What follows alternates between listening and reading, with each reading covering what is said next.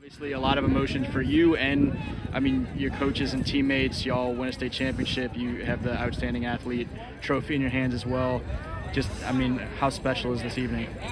I mean, just to see all of our hard work pay off, it's so amazing. Like, it's so rewarding to see this whole team that I've been with for four years to see the hard work pay off. We've worked so hard and we've grown so much over the past four years.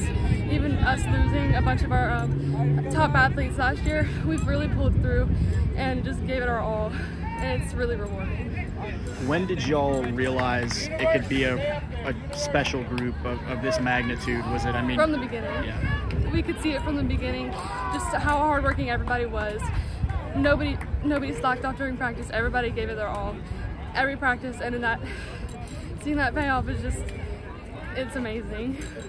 How smooth did everything feel during those hurdle events early on? You were yeah, you were able to um, put hella distance between you and and everyone else in the pack. Yeah, I had a couple chops, but it's fixable and I'll be working on that during the summer.